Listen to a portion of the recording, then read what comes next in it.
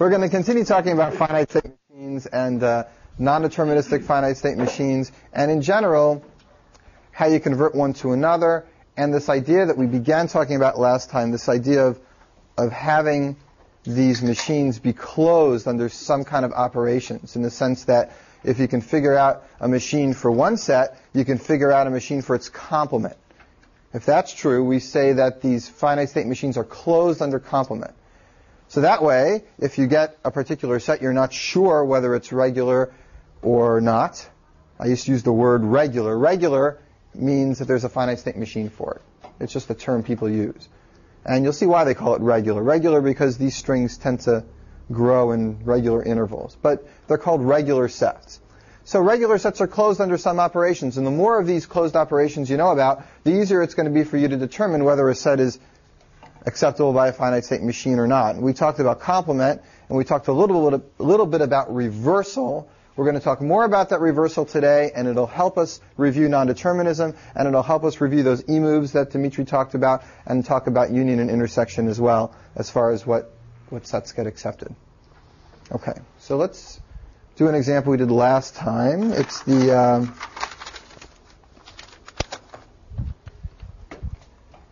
binary strings. Every one has at least two zeros following immediately after.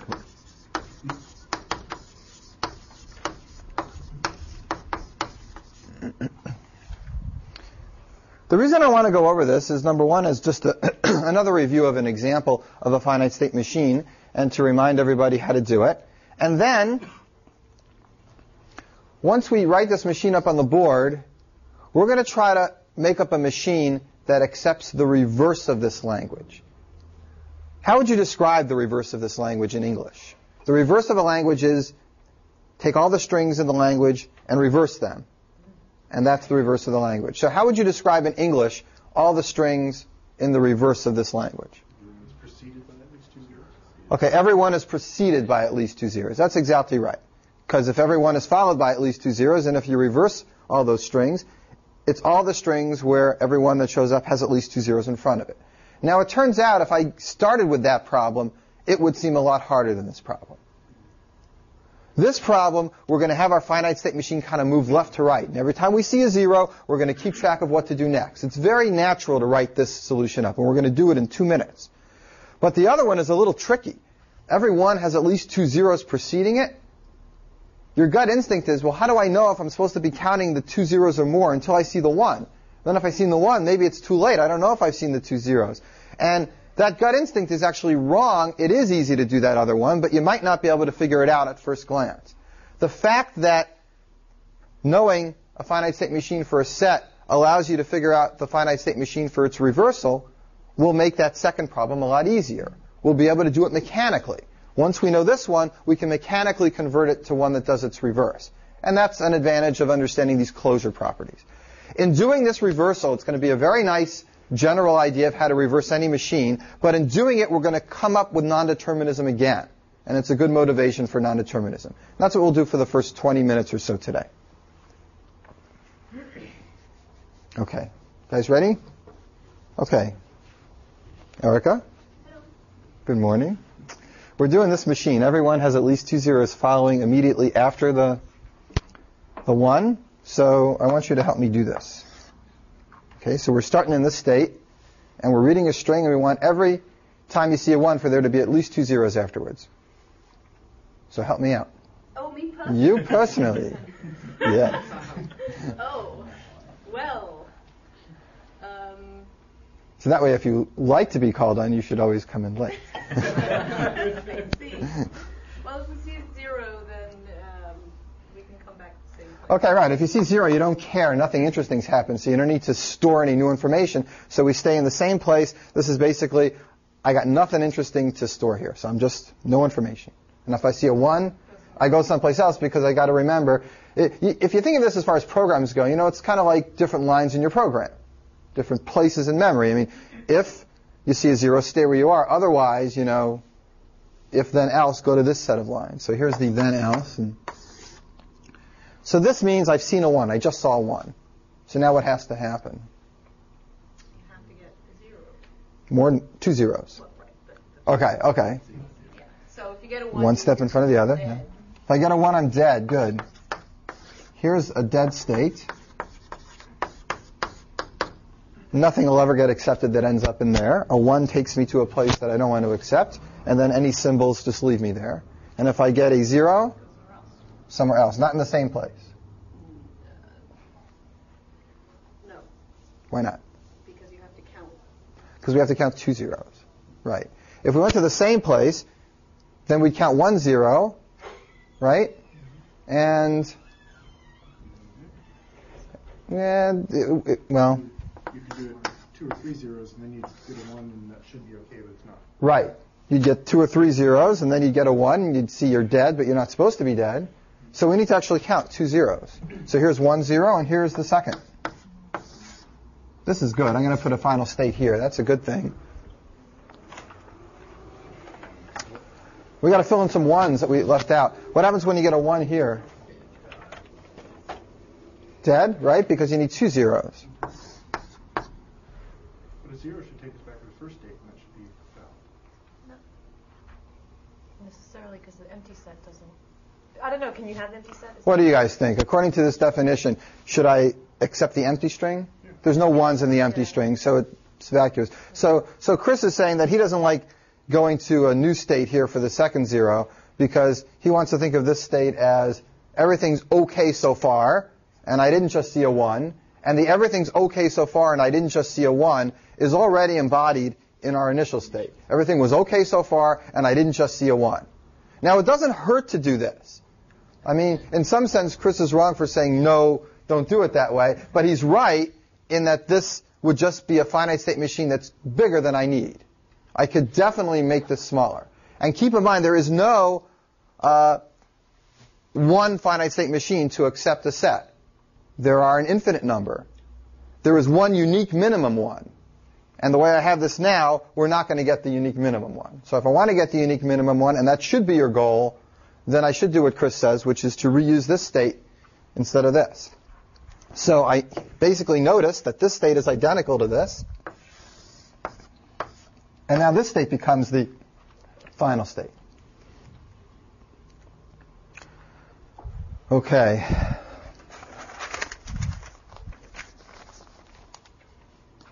Is that okay so far? Teresa?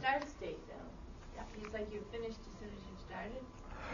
You can, um, if you if you start and you don't see anything, if there's no symbols to look at, like if you is it accepting that? It's because it's supposed to accept empty strings. There's no ones there. supposed to accept that. Yeah, because if because this is only if there's ones, there have to be two zeros. So if there's no ones, there's no condition, and an empty string has no ones, and it's okay. So it's okay to accept the empty string. Um, It also accepts strings of zeros of any length. right, and it'll also accept strings of any number of zeros as well, which you want to do. You want to take lots zero, zero, zero, zero, zero, zero. Those should all be accepted. They have no ones in them. why is that? I get, I'm just looking at what the sentence you wrote. You said everyone is. I thought you were only going to accept that, but there, there were some other assumptions. We were going to accept. You could No. if there's a one, everyone has at least. Yeah. Oh, so that. Ev- If there's not a one, then If there's not a one, then, then it's fine. It's just that if there's a one, there must be two zeros following it. All right. Um, so does this look all right? Anything else we have to do? This is not an accepting state because we haven't seen the two zeros. That's not an accepting state because we haven't seen two zeros. That is an accepting state because we have, and that's a dead state. All right. So I want to. This is the minimum one, but I'm going to do this for a second. This is what I was going to do originally, and I'm going to stick with this, even though it's not minimum. This machine is equivalent. It does the same thing.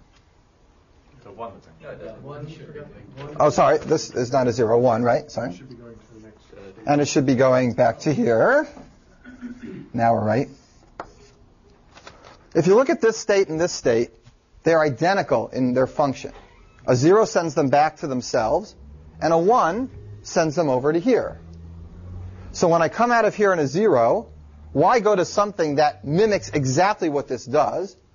Why not just go directly to the to the actual state?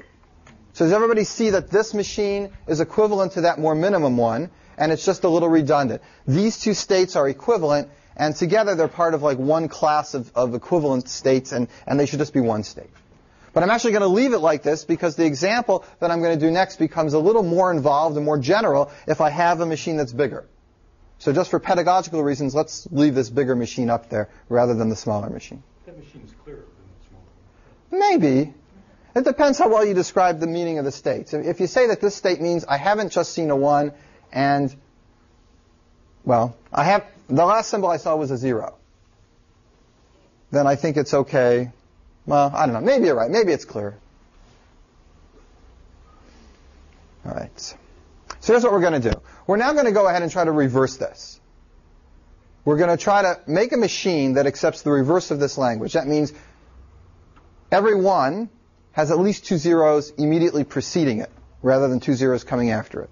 We're not going to try to do this deterministically straight up, because it's a nice exercise, but it's not what I want to do right now. What I want to show you how to do is how to reverse any machine completely mechanically. And in doing that, it's going to bring up other issues of nondeterminism and stuff we talked about before. So let's look at this machine and think of it as a general, any machine, any finite state machine. How could we change it? How could we fiddle with it? How could we do surgery on it so that when we're all done, it accepts exactly the reverse of the strings that it used to accept? So let, know even what the reverse is, like, the, I'll, let me define it specifically. Is that you- uh, the reverse of a language of, of, a, of a set of strings is take each string, reverse it, and that new set is the reverse of the language. but I would almost think that it would be where every zero is followed by two ones or something. Like Well, because here, but that. you just write out an acceptable string and everything. Well, let's hear it. One zero zero is definitely in this language, right? Right.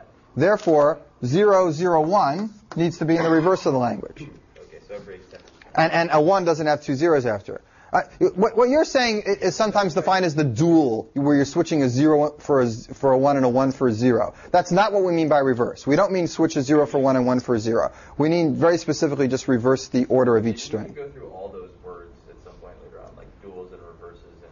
Yeah, dual is actually not used so much, but um, yeah, it, it isn't even reverse is just defined. It, it's not even a very important term either. But So it's kind of like you're just changing the direction of the logical implication rather than taking the complement of the whole statement. you're not taking the complement, right? You're changing the order of the strings. So the complement would be all the things that are not in the set, and that's different than than reversing each string. All right, but Chris, you get the, the, the actual definition. You just, I think I just. Yeah. Not trying to transform the sentence, but look at an example string and transform that and then construct a new sentence from it. Exactly. Take take the set of all the strings, reverse each one. That new set is the reverse of the original. Absolutely. Are there a whole set of operations we're going to study? You know, for every new exam, some professor makes up some new operation. There's reverse, and there's star, and there's concatenation, and there's uh, and there's min, and there's max, and there's prefix, and there's suffix, and there's half, and there's log, and there's square root, and you can go on and on. You can make them up. One point, I think in the late 60s or early 70s, probably late 60s, there was a paper that basically said, here's all the things that finite state machines are closed under. Not all of them, but, but a lot of them. And try to characterize them. And for your own knowledge, finite state machines are pretty much closed under anything you can think of, except a few things. So,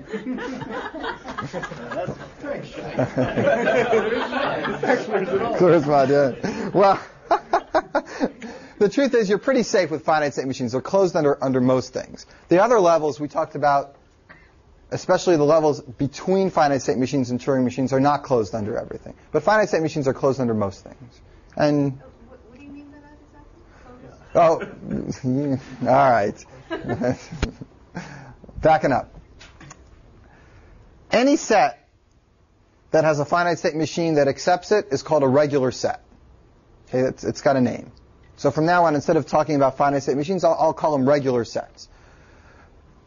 Regular sets are closed under some kinds of operations. And what that means is, if I do the operation on the set and I get a new set, for example, I complement. I take a set and then I take all the things that are not in the set. I've done an operation on the set. I've created a new set. It's complement.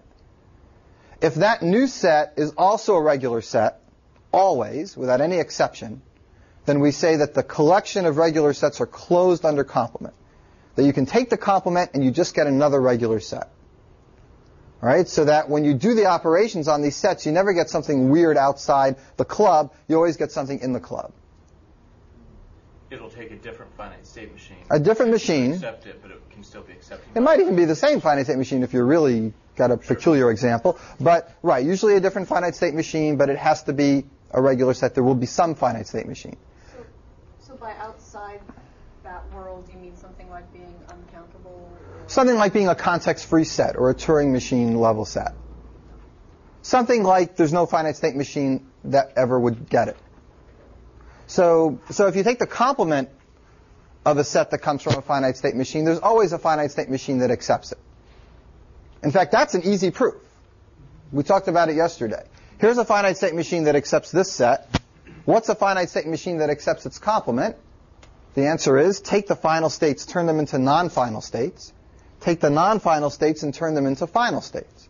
Just toggle the final and the non-final state. So everything that used to get rejected now gets accepted, and everything that used to get accepted now gets rejected. So the new machine accepts the complement of the machine that this represents.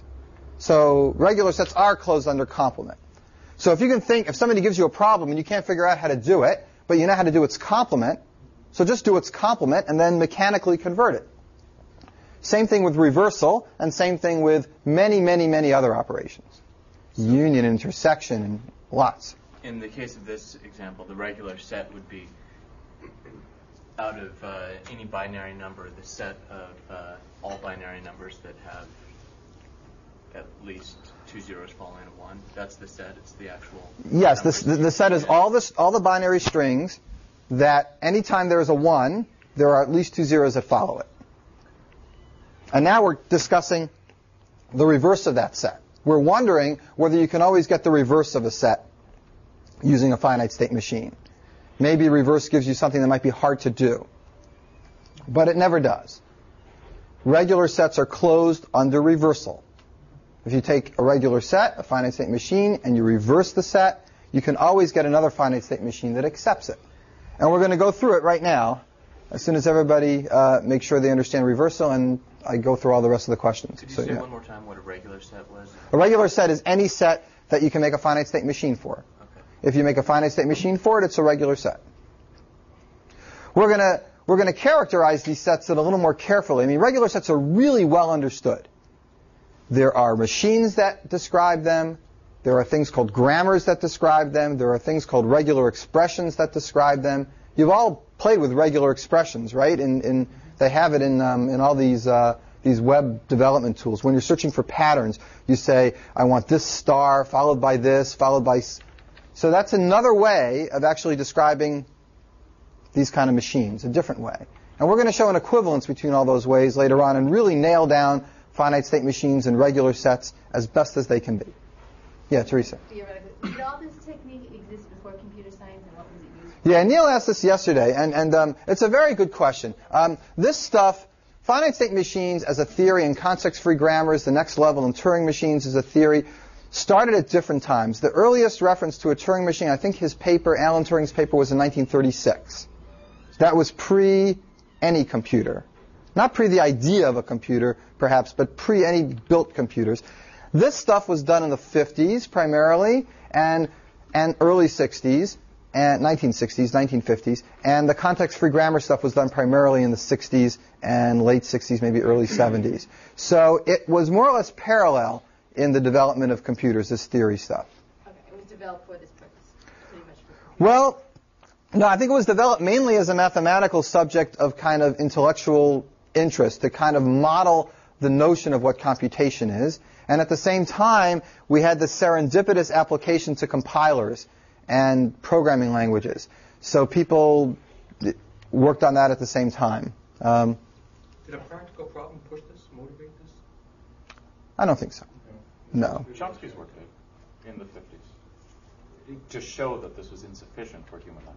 Oh, ri- oh, Yeah, from a linguistic point of view, right. And that's, that's what Yeah, actually, th- th- this bullseye I showed you the other day, you know, uh, finite state machines and then context-free grammars and then Turing machines, uh, that more or less is called the Chomsky hierarchy, which he must have done in the mid-50s. Yeah. Brian. I, I have a, uh, just a word question. Yeah. I- I'm wondering, uh, maybe you'll know this, the, the term computation, did it mean the same thing before computers? You know, uh, or rather, I, I wonder where the term came from, uh, or if it sort of originated around the time we started building machines that sort of. I don't know the answer. I mean, it's a good question, the actual origin of the word and how it was used. My sense is that computation was used in the same way we think of it now, long before computers were used. Uh, when Alan Turing tried to abstract away, you know, what we meant by computation, it was the first attempt to describe it rigorously. We all had a notion that there was a difference between thinking and logical kind of argument and brute force computation. So he abstracted away all the issues and said, okay, here's what we mean by computation. You need to come up with something like this. This is a computation. Anything else that you can't describe this way, that's too vague. That's not computation. So I think, in some sense, the word got a rigorous meaning only in the 30s and 40s of the 20th century. And before that, it was, it was left vague. Actually that, the word computation? Yes. He definitely used that word. Yes, yes. It's in the title of his paper. Um, I forget the name. The, the paper's in German, so I don't. Not in German. Um, um, I forget the name of the paper. Um, it's in English. Ooh. Ask Patrick Winston that when he comes. That's a really good question. It's um, there's a lot of different camps in AI, and a lot of different camps outside AI, and uh, and there you're going to get into real verbal battles because you're getting into philosophy. At least here we can always be grounded in something very specific. But uh, but uh, it's it's a big question that I really. like cement one end of it. Yeah, well, this reminds people a little bit of neural nets. You know, this idea of m- modeling. You know, the 10 to the ninth neurons in your brain by by inputs and outputs, and just getting enough things like that together and watching them go and feeding inputs in and and having it. You know, build. People have tried experiments like that and get some interesting results, but uh, but nobody knows how the brain works at all. Don't let anybody tell you they do. They don't really. I mean, they, they got a, you know, they got a little bit. You know, if you cut out this part, this behavior happens. But the next step, therefore, you know, we imagine there's this mechanism. Nobody has any idea what the mechanism is of anything, as far as I know. It's a very interesting problem, and it's great to work on. But if you want to spend your whole life working on a good problem and not necessarily come up with an answer, that's the place to be. It's a hard place. But Patrick Winston will come talk about this in a few weeks, and he will he will give you the state of the art and some really good perspective. He, he's very good on this. So I'm going to talk this through with you for a second. How do we make a machine that accepts the reverse? I mean, this machine goes through forward, right? Zero, zero, zero, one, zero, zero, and we accept. If we want to accept things in the reverse order, and we want to kind of use this machine as our template, well, now we start the string on the left side, but the reverse one, we're going to start it on, some sense, the right side, right? So the first symbol we're going to look at are the symbols that are at the end of these strings. Where are those symbols? Where could they be? You might end up here if you accept. You might end up here if you accept. Or you might end up, oh, that's it, two places. That means if you want to accept the reverse of these strings, you're going to need to be able to start either here or here, start at the end, and work your way backwards. And where do you have to end up? You got to end up where this machine started. You got to end up back at the beginning. So the new machine is basically going to run this machine in reverse. We're going to take all the arrows and turn them backwards.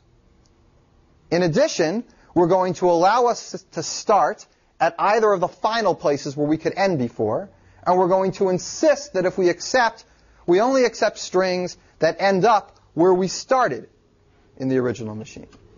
So our new final state becomes the initial state. A new initial state needs to be both of these. And all the arrows need to reverse. And that machine will mimic exactly what we mean. We mean to be able to start at a final state, go back along the arrows in the opposite direction, and end up in the initial state. When we do this, when we do surgery on this machine to make this happen, it's not going to look like a deterministic machine anymore. It's going to look weird. And we have to interpret it. It's going to end up being a non-deterministic machine. And since we know how to convert those to deterministic machines, we'll be able to convert it back. So that's where we are right now. It's a relatively complicated idea. So let me stop for a second for questions, and then we'll actually do it, and that might help you ask some more questions. Yeah, Joe. Isn't a kind of trivial semantic solution to this reverse thing, um, like we just use the same machine, it's just in our mind's eye we're reading right to left instead of left to right? Yes, but then technically, how do we actually come up with a new machine that's going to do that? Because it's possible that, that, that semantically it's true. It seems kind of straightforward just to go reverse on this machine. But this machine's got two places it can end. That's the reason I put the extra final state in, because I wanted you to realize that it could have more than one place it can end, and then reversing it needs to be able to reverse from either here or here. But a real finite state machine has one start state. Now we're going to have two start states. That's not allowed. Maybe having two start states gives us extra power. It doesn't, but that's what we have to make sure of. So you're right. It is a semantic thing, but we have to carefully make sure that having these two start states, which result in the old two finish final states, that that doesn't give us any problems. Does that make sense? Doug, okay? Mm-hmm. Kevin. Doesn't this machine already sort of have two start states? I mean, just in the sense that, you know, you, you haven't drawn an arrow into it, but the the circle on the very far right, you could start there just as easily. Yeah, that's true because these happen to be equivalent. But that's 100% true. But but technically, I could have just come up with a machine that has three completely distinct final states. And the start state might not have been any of them. The start state doesn't have to be one of the final states. So you're right, but, but I could have come up maybe with a better example where, where that objection wouldn't hold. That's a good point. Other questions? You guys want to see? Should we go ahead and do it? Let's go ahead and do it. Let's make the new machine. We'll do it over here on this side. We need a new start state. But you're only allowed one start state. So here it is. It's called start. But you want to be able to start either here or here when you're going backwards, because these are the places where you ended in this machine. So how do you start either here or here?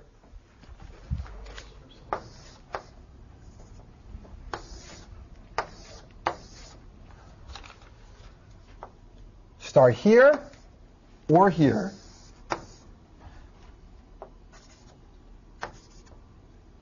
I'm just going to make e's. Jesus. Epsilons. On the empty string, without looking at a symbol, you decide whether to go here or here. Okay? And that makes sense because you might end either here or here in this machine, and if you want to accept anything that's the reverse, you got to be able to handle strings that ended here. Then you would start in this one. And if strings ended here, you'd start in this one and you work your way back. So this way you handle all possibilities. If it ended here, you'll reverse it by going to here at the beginning. If it ended here, you'll reverse it by going here at the beginning. So we've got a choice. So Sharon, you asked before whether epsilons are ors. In this context, they're completely ors. The epsilons are used just to say you can start either here or here without looking at any symbol. And now we're going to reverse all the arrows. So what happens to that? Loops reverse to themselves, right? So that stays here. And this goes this way. And this goes. Correct me if I make any mistakes here.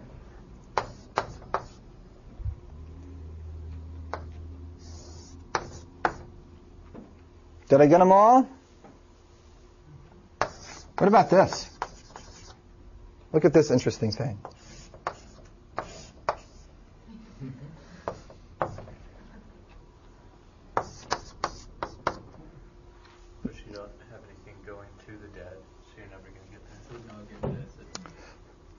Remember in graph theory we called this a uh, its own strongly connected component.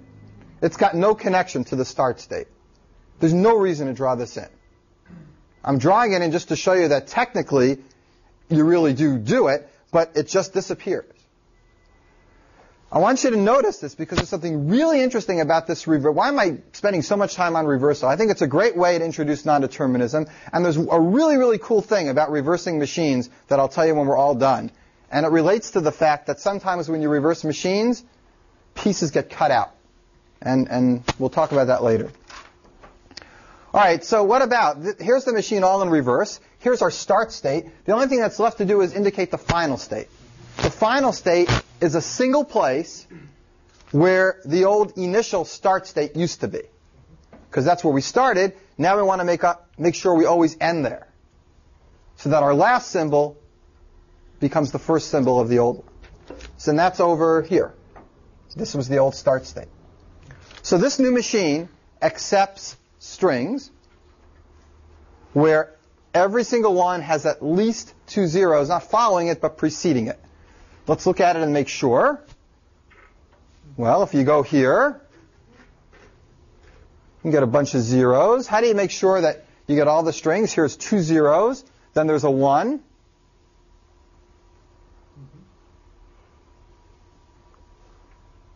Can you get every single one?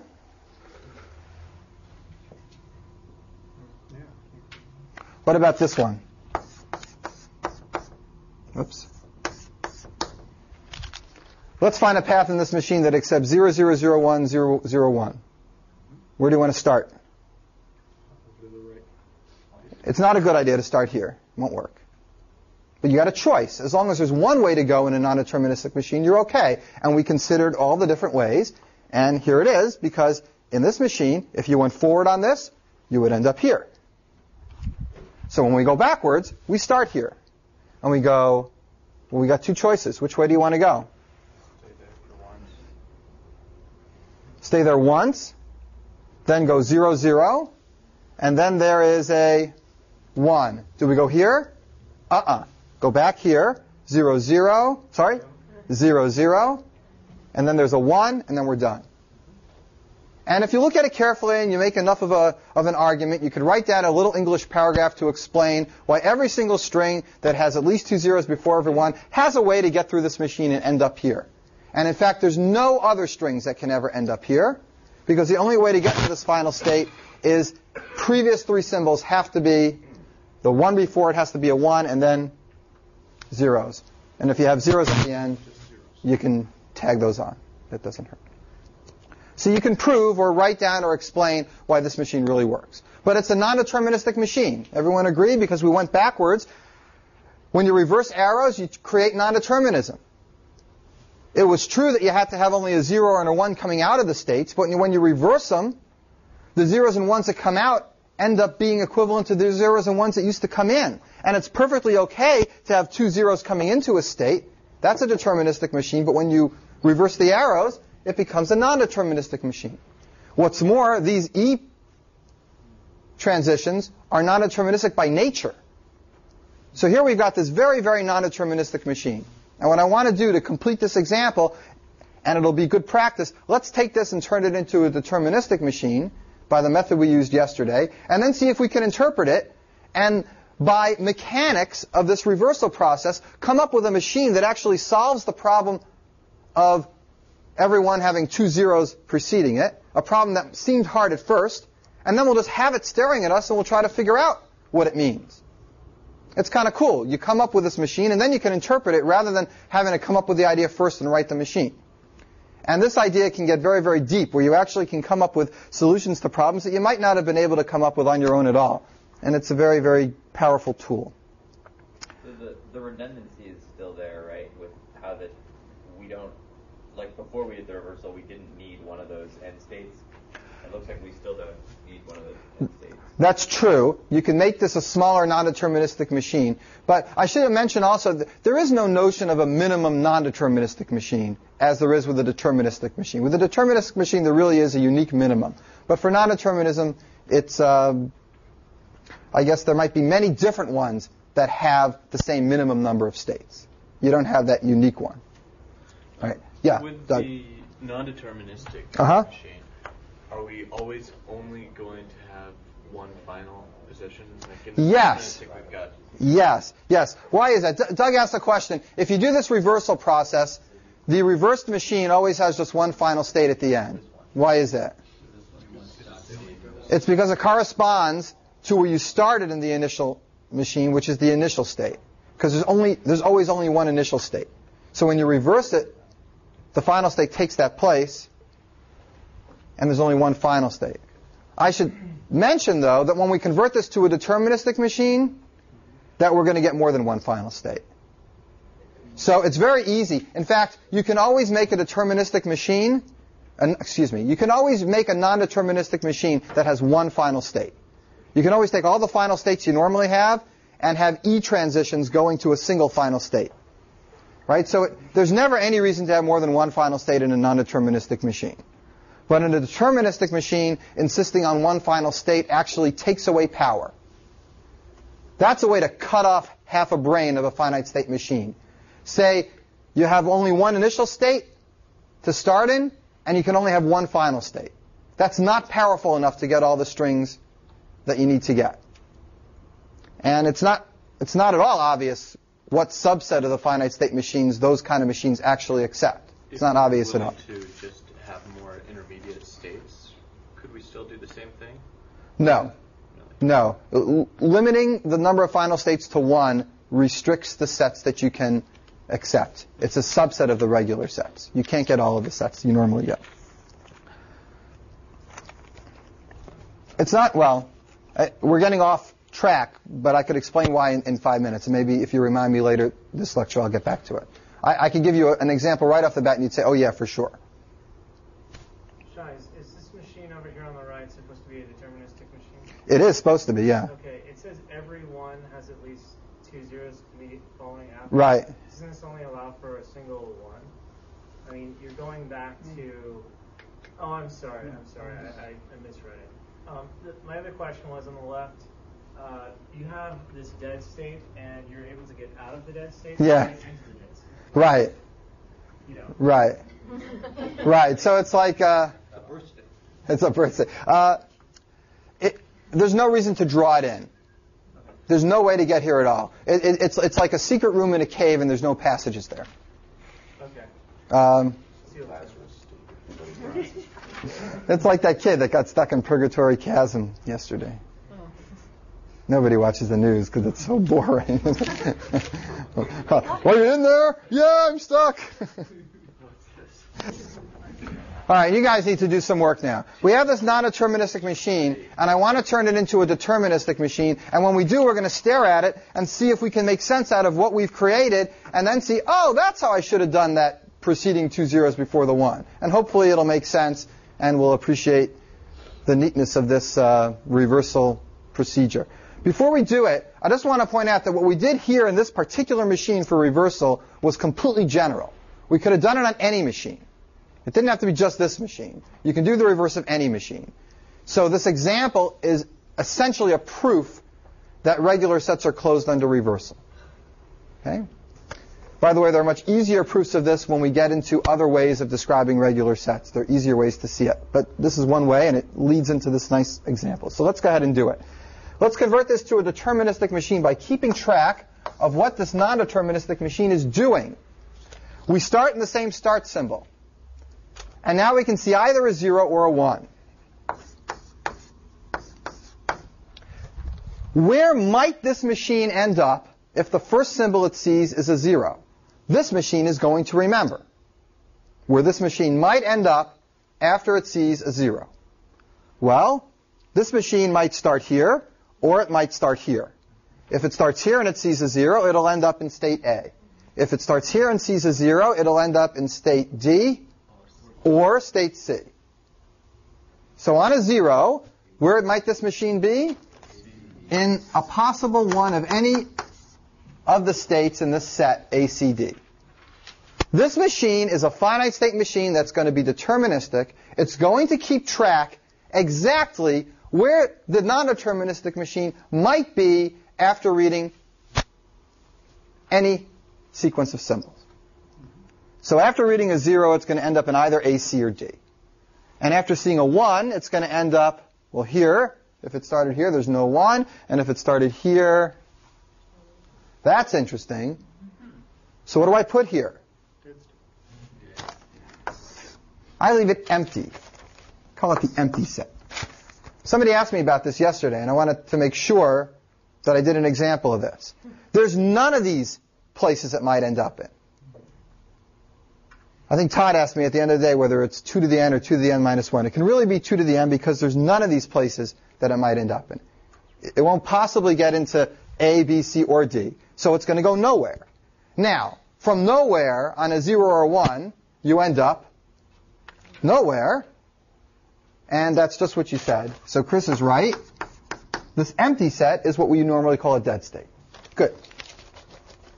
Well, that's nice. At least we don't have to do any further exploration from here, but we do have to do exploration from here. There's zeros and ones here. On an ACD, if you get a zero, where can you end up? A, D, C, or B? All of them, right.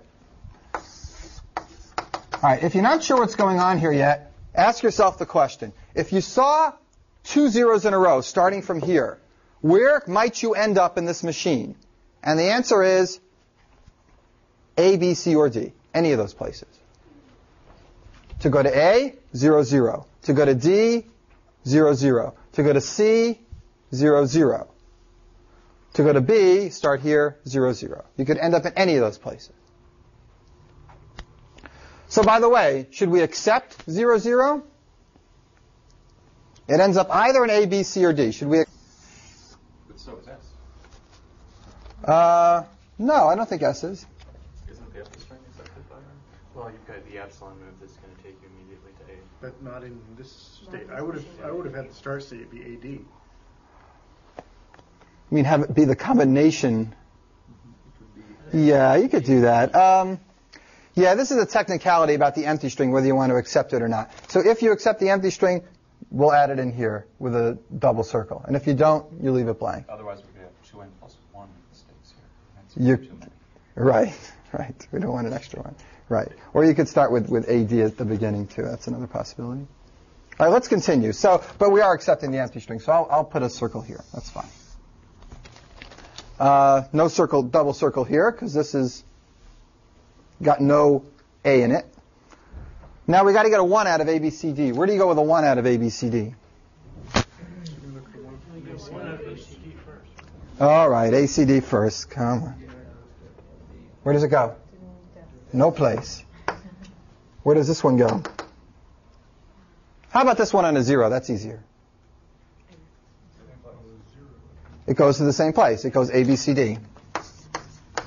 A fast way to do that is if ACD went to ABCD, then certainly ABCD is going to go to at least ABCD, and it can't go to any more because it can't get to the dead state or the S state. So you can kind of do that a little more quickly. But what about 1? 1 doesn't go to a dead state here. 1 goes to some real place. It goes to A combined with D. Good. That's another final state. Well, that that's what Chris was saying before. We yes, everybody who said it's isn't that the same as a start state? Yes. But let's just stick with this more mechanical general way, and it- it'll be okay. It's not going to be wrong. Maybe a little longer than necessary. All right, AD on a zero goes where? Check it out and tell me. ACD is right. And AD on a 1 goes to the dead state. I think that's it. This is a deterministic machine that accepts all binary strings that in front of every one appears at least two consecutive zeros. How does it work? Does it make sense? Can we make sense out of it now that it's here? I mean, here's the answer. Let's interpret it and make sense out of it. Who wants to try? So is ACD like the union of ACD? What, how should we interpret the comments? All it means is that if you ever end up here, then the string that you read could have ended up in the original machine in either A, C, or D. So it's the union only in that sense. But I don't think you can go any further with that analogy. So what's going on?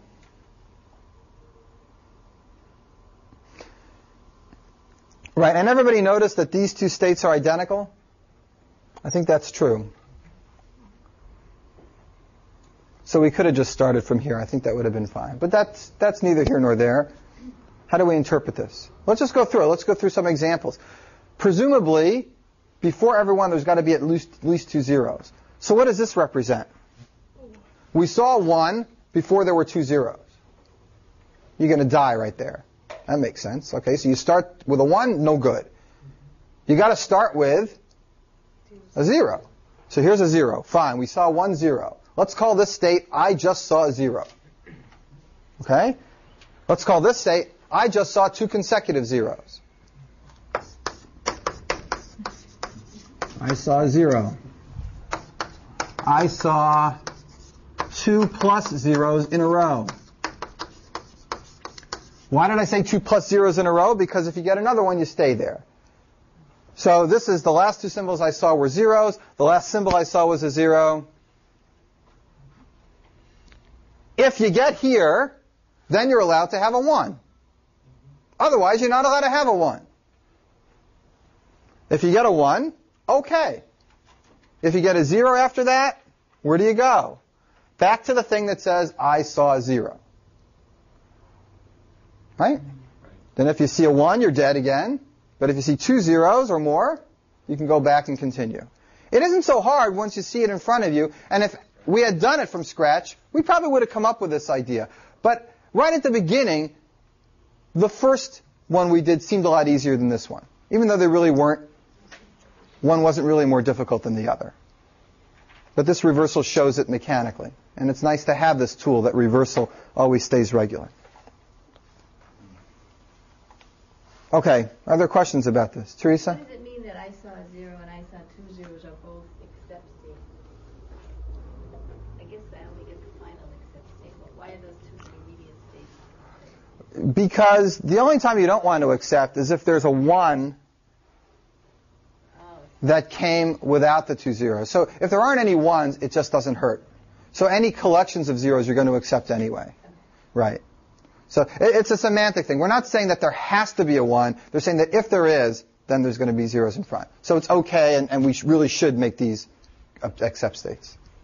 Same number of states for reversal? In the minimal digit? Hmm. Yeah. What, Todd asked the question, what happens when you reverse a machine? What do you think happens? Well, when you reverse it, just the arrows go backwards, you know, and, and we add a start state. You know, so that's just adding one state. That's no big deal.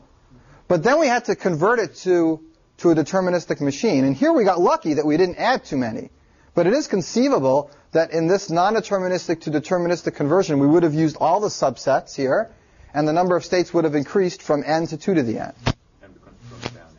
And we might not be able to prune it down. So it's very possible that the reversal of a machine uses a lot more states than the machine itself. But here's something really cool.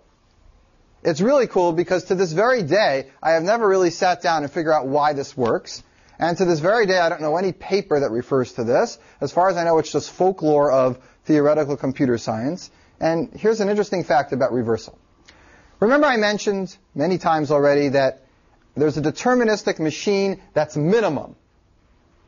And if you find that minimum one, you know, that's say four states big for any set, then they're all identical. Then all those four state machines, you know, look the same. There's a unique minimum finite state machine. And I mentioned it's worthwhile to know how to get that. Because you might not have it to start with, and you want to keep your program that simulates these machines as simple as possible. Now there's lots of algorithms, and I'll teach one in another week or so about how to do that. But there's one kind of a folklore algorithm that isn't very efficient that deals with this reversal technique. But it's just so cool that you should know it. Here's what you do. Say you want to minimize a machine, like the one we started with. Go ahead and reverse it just like we did, and then convert it back to a deterministic machine just like we did. And here's what you get. Okay? And now do it all again. reverse this again, convert it back to a deterministic machine, and then see what you got. Now what you got then is a machine that does the same thing you started with, right? Because you just reversed it twice.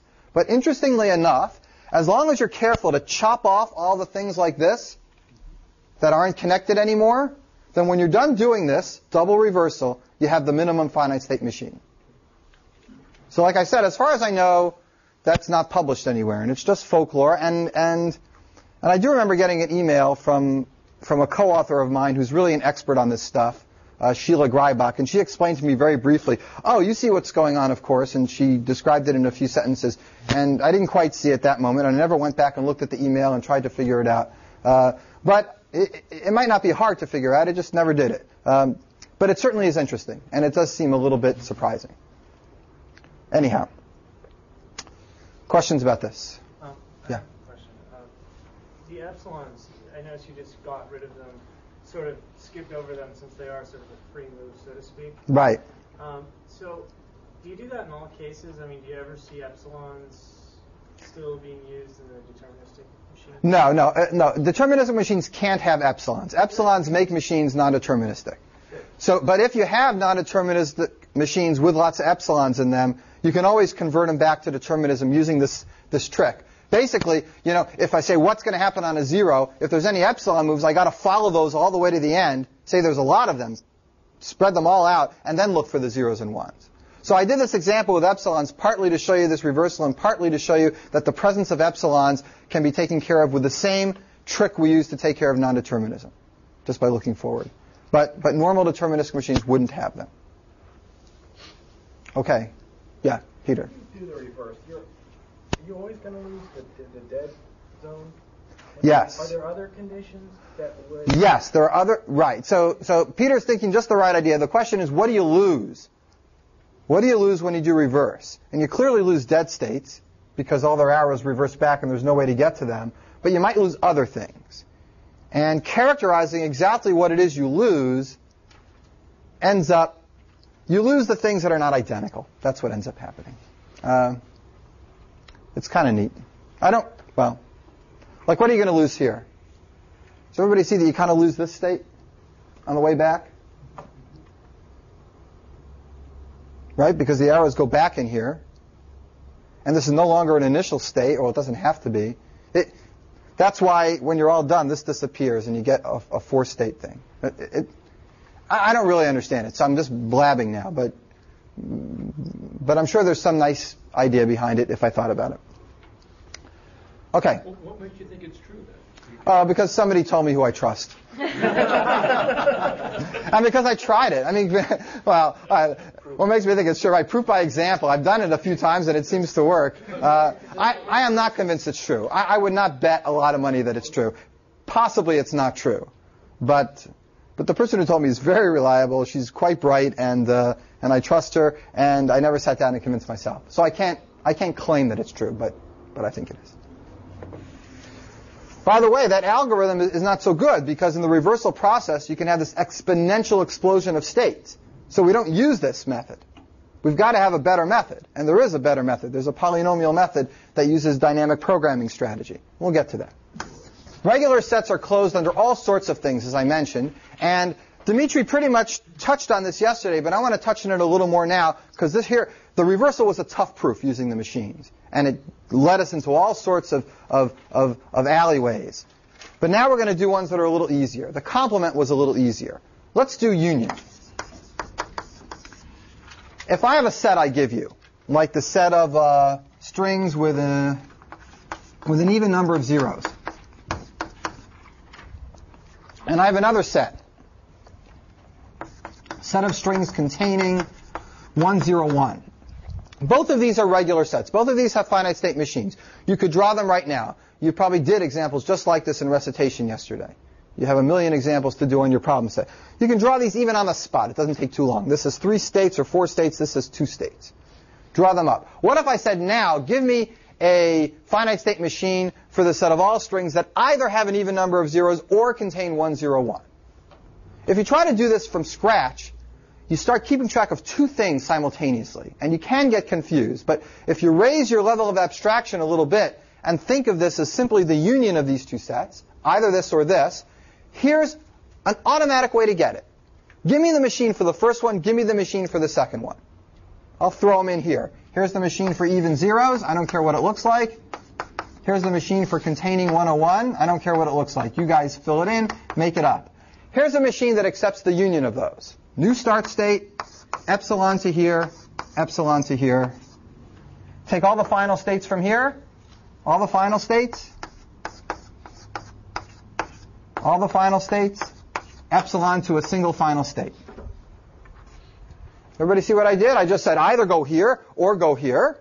If there's a way to accept the string because it has an even number of zeros, then choose this way. Go through the deterministic machine, and when you're all done, jump out to a final state.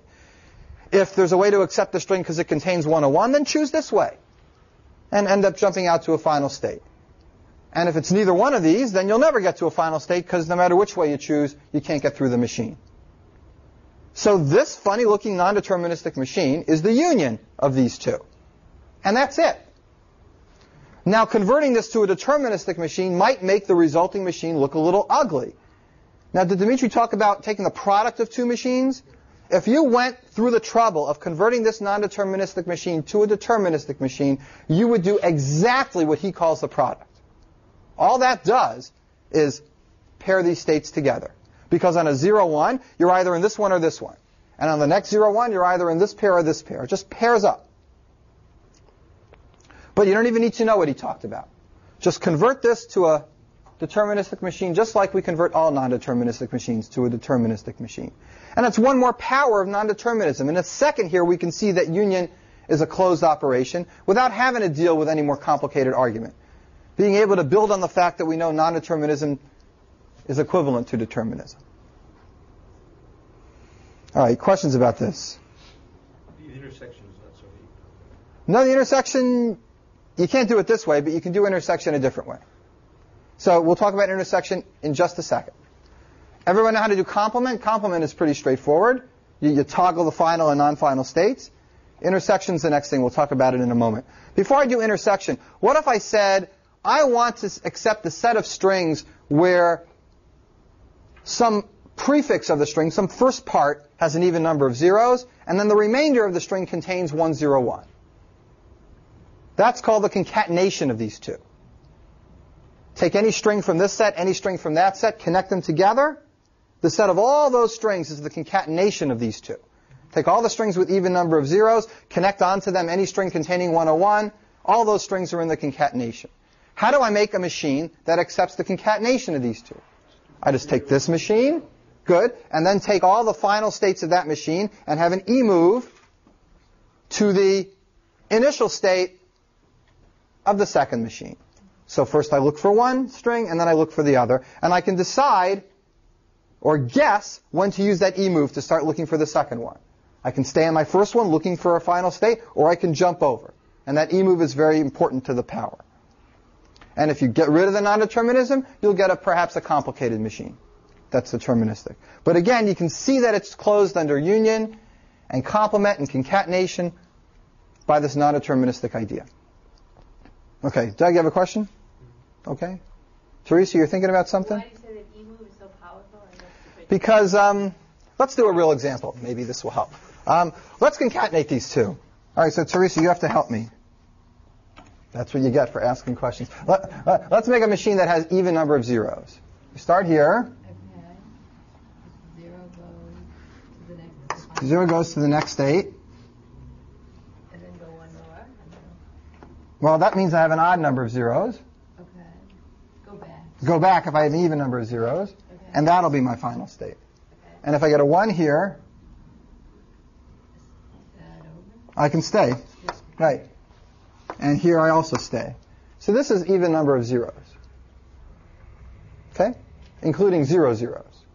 Including no zeros. And what about containing 101? Here's 1, 0, 1.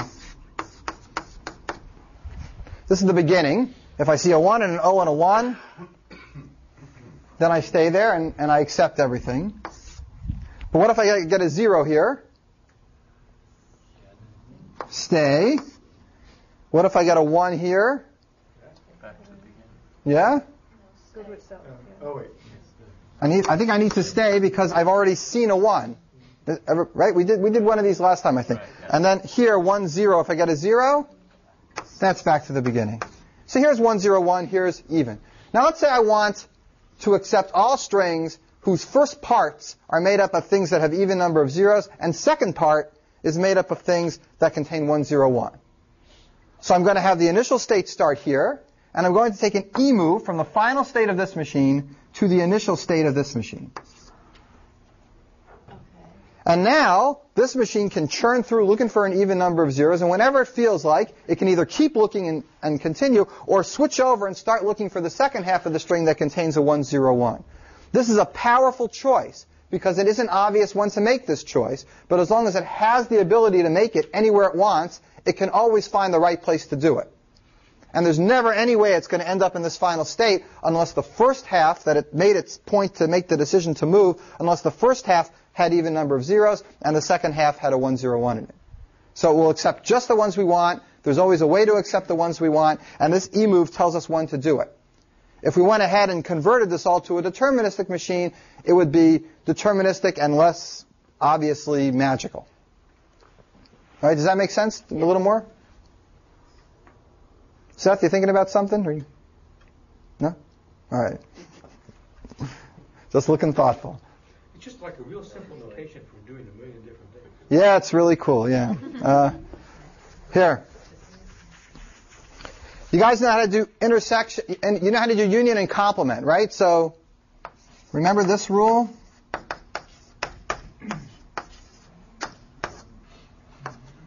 Remember that from who knows when? What's that called? Anybody remember? De Morgan. Good.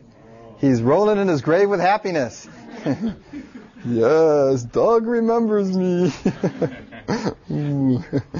Right, that's De Morgan's law, and it, and it's a, it's a law about sets. You can make a picture of this and convince yourself. It's also a law about Boolean algebra. It, it, it works with ands and ors and, and nots.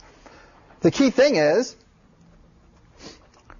if you've got two machines, one for A and one for B, you can get a machine that does their intersection by doing this stuff. You can complement A and complement B. You guys know how to do that, right? Toggle the states. Then union them. You know how to do that? Do your two E transitions. Then complement the result again. You have to take your two E transitions, convert it to a deterministic machine before you complement it because we only know how to complement deterministic machines. So there's a lot of work here, but at least in principle it can be done. So now it's closed under intersection. And you should always know that union, intersection, and complement, you can't have just two out of the three. If you have two out of the three, then the third one's also closed. Okay, because intersection depends on the other two, and union depends on the other two. So, so either they all are, or just one of them is. And that's going to happen in the in the uh, levels above finite state machines. Finite state machines, like I mentioned, are closed under most things. So here all three are. This is not the nicest way to do it, though. If I actually made you come up with the intersection using this method, it's a pain in the butt, right? You do the complement, take the union, convert it to a deterministic machine, complement it again. Anytime you have to move from non-determinism to determinism, there's an exponential potential. That's a pain. Nobody likes that. No good. So, I'm going to show you a better way to do intersection, which is similar to what Dimitri did last time. This idea of the product of the two. And it's very natural, and we'll do it with, uh, maybe we'll do it with these two examples.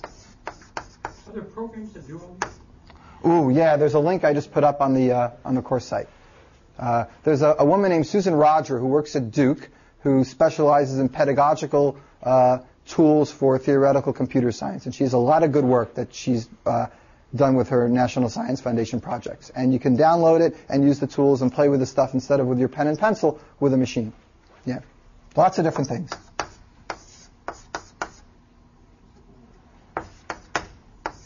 Call this A and B and call this 1, 0, 1, uh,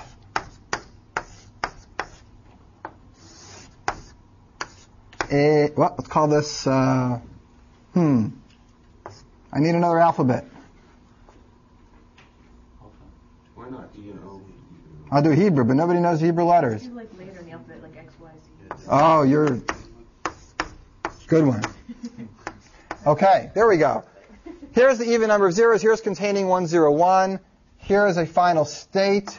Here's a final state. Let's find the intersection of these two in a more direct way than that abstract proof I just gave you. Here's what we're going to do. And it's going to reinforce non-determinism one more time.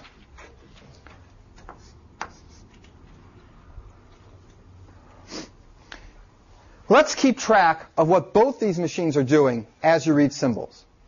When you start, where are these machines? In what pair of states? Mm-hmm. In A and X. Okay? Let's, let's forget about final states for now or how we're going to interpret this. Let's just use this to simulate these being run simultaneously. We start off in being in both A and X, and now in a zero, where do we go? B, X. And on a 1, AY. Good. I'm going to do a little more of this before you get bored. How big might this get? Every, every new state in my new machine is going to have a pair of old states. So we have two states here and four states here. It's going to be eight at the most. It might be all of them. It's possible some might not show up. But we might have eight. You're probably bored. Who wants to go see eight? But let's just do a little bit more just to make sure everybody gets it, and then I'll show you how to finish it up. From bx on a zero, where would you go? A, x. That's not bad. From bx on a 1, where do you go?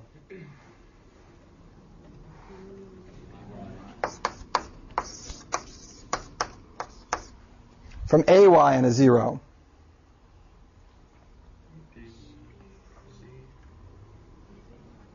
BZ? Oh, AY. AY and a 0, BZ? All right. Everybody see how to complete this? Sooner or later, you'd come back to states that are already there, and you finish your whole machine, you get a deterministic machine. How do we interpret this? You can interpret this to do union or intersection in a way different from the way we did union and intersection before. This keeps track of where both these machines are. If you want a string that's either in this one or in this one, then the final states in here should be any state that has either a final state from here or from here. So AX would be a final state for doing union because you can end up in A. AY would be a final state because you can end up in A. Anything with a W in it would be a final state. But if you wanted the intersection of the two, you have to look through these states and find, in this case, only a single state, the state labeled AW. So if we continued this, sooner or later AW would show up. And that would be the only final state in the machine for the intersection. So this product, this is called the product of these two machines. It's done in a very similar way to non-deterministic uh, calculation of turning it into a deterministic machine, but in this case you're only keeping track of simultaneous machines, two states, not a subset, so it doesn't grow quite as large. It's only the product of these two instead of exponential. And what's more, you can do either union or intersection depending on how you interpret the final states. So that's another way to do intersection. So the second option of doing it, the, the reason that we would do that is just to have a, another way to go at it, or is there? The, the reason you would do this, because well, say you were writing a program to do it. The other way wouldn't be your choice because the other way explodes exponentially. If you were building a program to do it, the way to do it is to take the product of these two and just have pairs of things in your states rather than subsets of things in your state. Because if you're just unioning or intersecting two machines, that's a much more specific thing than taking a non-deterministic machine and converting it to a deterministic one. There you have to keep track of every possible subset. But here the subsets are always pairs. So we should notice that. Yeah. You didn't do the non-deterministic intersection. That's you didn't. Being I, we just did that now. That's, this. Right. Right. Well, I, I'll, we showed that if you have two machines for A and B. Union, oh, oh, oh. Is there any way to do intersection non-deterministically? Yeah. Only indirectly. First, you do the two complements. Okay, then you do the union and then you do the right. There's, right. There's no other right. Non-determinism does not mix well with uh, with intersection. Non-determinism mixes well with ors, not with ands. And this is an idea that's going to come all, all the way up in Turing machines. And I'll show you something that's well, it, you brought it up, so you're getting this two-second digression. But you know that non-determinism means you have a zero coming out of here and another zero going another place. And we, we define it to mean we accept any string if there's a way to get to a final state through here or through here. Why didn't we define it if there's a way to get to a final state through both of these? Why didn't we say and instead of or? Somebody in their gut instinct might have just said, well, I'm barely understanding what's going on so far, so I'm not going to ask that question, right? But that's a natural question to ask, right? You got to say, why make this or? Why not make it and? I try to motivate why we made it or because if you do this reversal backwards, it's kind of what we want. You want to start here or here. Or is more natural. But people do define this as and. And sometimes you even mix finite state machines where some of the states are labeled or and some of the states are labeled and. And those are called alternating finite state machines. And the way you define whether you accept a string in those is that anything that goes through an OR state, there has to be some path out of it that gets to a final state. Anything that goes through an AND state, all the paths that go out of it have to reach a final state. It turns out that making a finite state machine alternating like that also doesn't give it more power. And that idea of an alternating idea goes up to Turing machines. So we may talk about that much later in the course again. But, but it's a good question to ask, and it's an interesting point. For the, for the rest of the lecture, I'm going to stay away from, from some gory details, which we've been spending time on up till now, and talk more big picture of where we're heading for the next lecture, and then I'll fill in the details in. So here's where we are. We talked about finite state machines, non-deterministic machines. We found out that non-deterministic finite state machines can be converted to deterministic finite state machines. So either one of these are okay way to look at these kind of sets there's going to be a bigger set of connections. We're going to connect this to something called regular expressions, which you've seen in other contexts. Specifically in, in, in, web programming, you see regular expressions a lot. In any kind of pattern matching, you see it. Regular expressions is another way of describing the sets that finite state machines can accept. They're identical to the finite state machines. That's not obvious. But tomorrow, tomorrow. Sunday, I will show you how to convert any deterministic finite state machine to a regular expression. So there'll be a connection between here and here. So this is not yet, but this we've done. And then I'm going to complete the triangle by showing you that any regular expression can be converted to a non-deterministic finite state machine. So these are all three, three different windows to the same picture. And in computer science, you desperately want three different views to the same thing because depending on the view you have, certain things seem easier. And the more views you have, the more tools you have at your disposal to make important discoveries. So we're going to do this triangle. There's a fourth thing called regular grammars, or sometimes called linear grammars. And these are also equivalent to all these three. And we're going to fit it into the picture by showing an equivalence to deterministic machines. So that will fill in this picture of looking at finite state machines from all the different possible ways. There is no such thing as an analog for regular expressions as we go up the hierarchy. It disappears. But there is such a thing of non-determinism, and there is a grammar analog. The grammar analog and the machine analog rise all the way up this hierarchy, all the way to Turing machines. And that's what's sometimes called the Chomsky hierarchy. The grammar and the machine parallel all the way up the line. And it's really interesting because grammars and machines don't look alike, but they come in pairs. All right, questions about where we're headed with this? All right. Second big picture. We talked really briefly about what isn't a regular set. Okay, what can't be accepted by a finite state machine. And uh, a lot of different ideas came up. Somebody said Fibonacci numbers in binary. That's true. Not acceptable by a finite state machine. Equal numbers of zeros and ones. Anything that requires counting or arithmetic or more than finite storage, no way to do it. So none of those things can be done. The question is what things can be done? Well, things that you can write regular expressions for can be done. Things that I give you lots of examples on the homework can be done. It would be nice to have a method to show that you can't do something. Because otherwise you just go home and you try really hard and you come in and you say, I can't do it, but that doesn't prove to me you can't do it. And proving you can't do something is always harder than proving you can do it. Because once you've done it and show me an example, you're finished. But to show me you can't do it, you can try an infinite number of examples and I'm still not satisfied. So we need a trick. And I want to introduce this a little bit because it's a nice, we'll, go through it again in detail, but at least it's a nice way to, to kind of end the day. You don't have to take notes on it. We're just going to, we're just going to have a discussion. So here's the discussion. Here's a set. 0 to the n, 1 to the n. It includes the empty string. It includes 0, 1. It includes 0, 0, 1, 1, 0, 0, 0, 1, 1, 1, etc. Okay, it includes all the strings that have an equal number of zeros and ones that start with zeros and end with ones. There's no finite state machine for this. Let's convince ourselves. Let's try to make one. If I see a zero, I go to a new state, and I remember I've seen one zero. And if I see a one, I go back here and I accept. If I see another zero, I go here. And if I see a one, I go all the way back?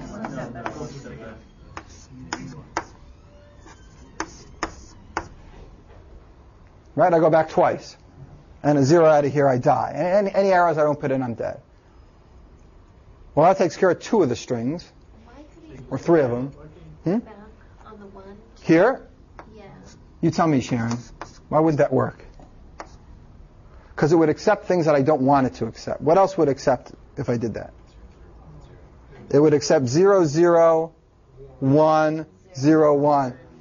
This is a really important point that Sharon made up. A lot of times you say, oh, I can do that, and you include all the things you're supposed to accept, and you think you did it, but you included lots of things that you weren't supposed to accept.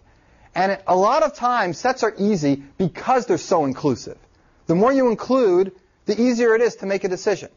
It's like if you're a bouncer at a bar, and you're not very picky, and you let most people in, then there's not so much work you have to do. And same thing here, if we just, I don't know what I'm thinking. If you just go ahead and put all the ones back in here, it includes lots of things. Lots of things that you don't want it to. Yeah, Brian. I, I have a totally unrelated question about the notation with the Yeah. exponents there. Uh, that really threw me in the book. Uh, normally, if I see 1 to the fifth, I think 1, not 1, 1, 1, 1. Yeah, right. Is, is that just a, a convention for Yes. this kind of work? Yes. In, in this book, you will, I'm not going to say never, but you will hardly ever see this mean 32. All the symbols in this book are, mm, for the most part, strings. And exponentiation in a string just means repetition. And it should have thrown you the first time you saw it. But try to get used to it. It's, it's 98% of the time just repetition. So, so 0 to the 0 is an empty string then? Yeah. But you can see how often I've used that. yes, you're right. Absolutely. Good. I thought chapter zero was that really helpful. The distinction chapter. Oh, oh, it's a, it, oh, oh it, it emphasizes it. It says, "Be careful," right? Is something? It just goes over. It just goes over zero to. Uh No, I'm not gonna oh. oh, in Clover. I just- All right. So, uh, if we kept trying to do this, what would happen? Here's three zeros. One, one, one. Right, it doesn't look very finite. This is a nice infinite state machine. While I'm saying this, what do you need to add to a finite state machine to make it more powerful? If you gave it an infinite number of states, that's a Turing machine. Right? So you can't do that. You know what you need to give? What can you give it that's less than an infinite number of states? You could give it a, like a little data structure to work with. If you gave it an array, Turing machine. If you give it a stack, not a Turing machine. If you give it two stacks, yes, a Turing machine. It's a really neat hierarchy. This is all news to me. It's all news. I'm just telling you right now. What's the big deal between one stack and two stacks? We can do a lot more with two stacks than with one stack. I gotta give me another stack. this is the big picture. We're not going to talk too much about the details. All right, but I want to get back to this. So this doesn't work. I want to convince you this will never work. I'm going to convince you that if uh, that if you know if, if if Chris Walker goes home tonight, as is his habit, and I know he comes here. and he and he spends all night coming up with a finite state machine for zero to the n, one to the n. And he calls up all his friends from class and he gets all the advice he can. And finally, about four in the morning, he gets it and he's positive. He's unaware that he's just completely deluded because he's tired and he just doesn't remember. And he comes into class and he's ready and he says, I got it. Here's my machine. I'm ready. Uh, it's wrong what you said. All right? And I go, okay. So now we're going to have a dialogue. And Chris is a good-natured fellow, so we're going to we're to have this dialogue right now. So my question to you is, how many states are there in your machine? Just give me a number. It doesn't matter. 24. 24. Okay. So Chris says there's 24 states in his machine. Right? So now I say to Chris, okay, Chris, do me a big favor and take this string, 0 to the 24th, 1 to the 24th, and run it through on your machine for me. Okay, and now, and I push him a little further. I say, you would admit that since there's 24 zeros here, that somewhere in those first 24 symbols, you're going to have to hit a same state twice. Right? Because you start in your initial state, and you move along on zeros, moving from one state to another, and if you keep going to new states, you only got 23 moves, you know, before the end. So sooner or later, somewhere, you're going to have to hit a state twice. You agree, right? Yeah. And, and I nailed you down because I asked you how many states were in your machine before. And then I picked this. That's really important in this dialogue. If I gave you the string before, you'd say it's got 80 states in it. Yeah. And I. All right. Well, then I'm changing this. That's the key. Chris has to tell me first because he said he's finished. And now I give him a string to try out in his machine. And I tell him, look, I know there's going to be a loop somewhere in this machine. Tell me the first state that gets entered twice. And uh, tell me specifically how many zeros got read before that loop, how many zeros are in the loop, and then how many zeros and ones after the loop. So you can split it up any way you want. I don't care. Say it was 17 zeros before the loop, and say there were three zeros in the loop, and then the rest of the string happens after the loop. Okay, there's got to be a loop somewhere. The, the, loop could be just one zero, but I just picked this at random. You should actually pick this. That was a good guess. That's exactly. Uh, very kind. Okay, so what's left over? Zero to the fourth, one to the 24th. Right. So let's, and this is the loop. This is the part before the loop, and this is the part after the loop. There's three parts to this computation on the string. The part before the loop, the loop itself, and the part after the loop. And now, now that you've admitted to me this, I'm going to say, okay, well now try this. Try 0 to the 17th, 0 to the 3, 0 to the 3, 0 to the 4, 1 to the 24. What's your machine going to do? It's going to do the same thing it did before on the first 17 symbols. Then it's going to loop on the next three, just like it did before. And then it sees the exact same symbols again. So what's it going to be? Where's it going to be when it's done with these three symbols? The same place it was when it was done with these. It just loops, it's just going to take that loop twice. And now it continues. So if this ended up in a final state in your machine, then so is this going to end up in a final state in your machine. Right? Because they both continue from the same spot after here. They both hit that loop and then continue on. What's wrong with that? Well, you're supposed to make a machine that accepts things that have equal zeros and equal ones. You started out with 0 to the 24th, 1 to the 24th, and now I've convinced you, without looking at your machine, that your machine has to accept 0 to the 27, 1 to the 24th. So your machine's bogus. Not because it doesn't accept all the 0 to the n, 1 to the n, but it, because it accepts more than it's supposed to. So that's why I did this now, because of your question. The argument here forces somebody to come with a hypothetical machine and then in a dialogue forces them to admit, oh gee, I may have gotten all the strings you want, but unfortunately you seem to have convinced me that I'm getting more than I really want. And this idea is the heart We'll do a whole lecture on this with a lot of examples. But this is the heart of something called the pumping lemma. And it's called the pumping lemma because you're pumping up this loop. Regular sets are called regular because if you have a regular set, you can always pump it up at regular intervals and get other things in the set. They string out at very linear intervals. That's why anything that grows fa- faster than linear is never regular. Zero to a square number, that's definitely not regular. Because regular sets you can pump out at linear intervals, and squares are not linear. Zero to the anything that's not linear won't be regular. So that gives you another way of thinking about regular sets. They are linear in some way. They're very, very regular, and that's why they're called regular. All right. So that gives you a couple big picture things that are coming up. We'll do this conversion of deterministic to regular expressions and from regular expressions to non-deterministic next time, and we will start on the pumping lemma and showing things are not regular the time after that. We're going to try to finish this whole level of finite state machines in another two to three lectures.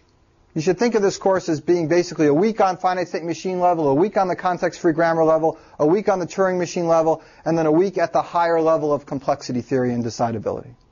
Okay? Let's